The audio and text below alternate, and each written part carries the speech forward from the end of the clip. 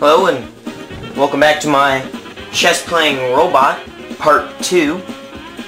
This time I made a program that's going to pick up my king and place it on the board, then let go of it and move back to the starting position.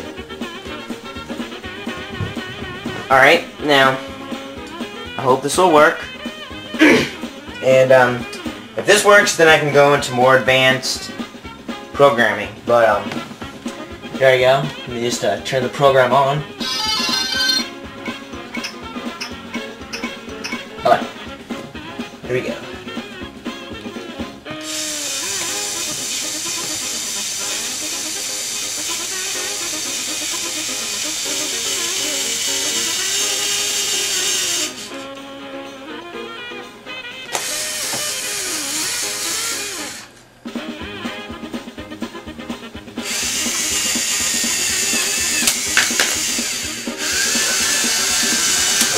No.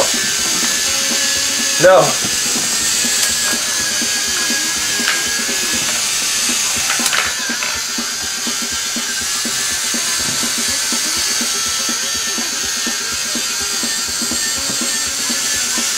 No. No! Ah! You useless piece of junk!